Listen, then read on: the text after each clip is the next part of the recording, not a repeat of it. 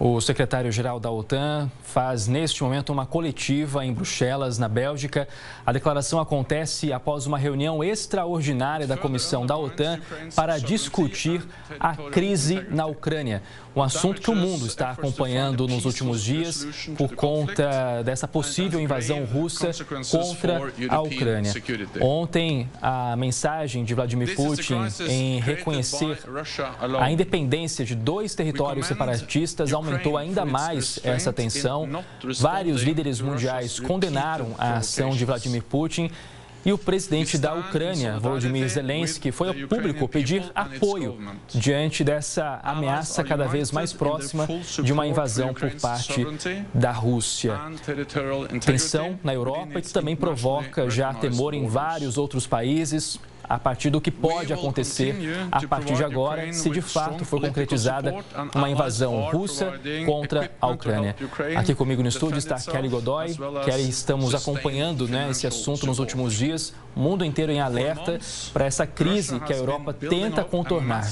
Já acompanhamos várias sanções, hoje inclusive o primeiro-ministro britânico Boris Johnson anunciou sanções contra a Rússia, mas Putin parece não querer recuar nesse momento. Pois é, como você bem disse, eh, boa tarde a todo mundo que está ligado aqui no Hora News.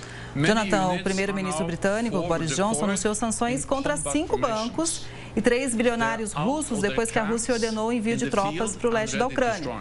Segundo Johnson, os indivíduos e entidades sancionadas são de importância estratégica para o Kremlin.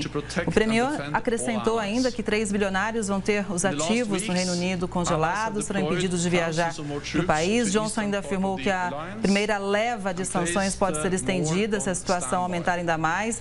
Também hoje o chanceler alemão anunciou a suspensão da autorização para o gasoduto que liga a Rússia à Alemanha. Novas sanções devem ser anunciadas ainda hoje, em conjunto pela União Europeia, assunto que a gente já mostrou ao vivo aqui direto com a nossa correspondente em Portugal, Ana Paula Gomes. Então, quando, como você disse, é uma tensão mundial. Né? O Brasil também já se posicionou, pedindo realmente que não haja uma escalada da violência. Então, é uma situação muito preocupante. E a tensão a gente vem acompanhando aqui, né, Jonathan? Ela vem crescendo dia a dia. Cresce a cada dia que passa. Nesse momento, o que nós estamos acompanhando do pronunciamento, o chefe né, da, da OTAN fala nesse momento sobre a questão de envios de tropas para essa região, o que reforça essa possibilidade de invasão por parte da Rússia e que é necessário uma aliança nesse momento para evitar que a tensão aumente cada vez mais e que a Europa esteja envolvida em uma guerra.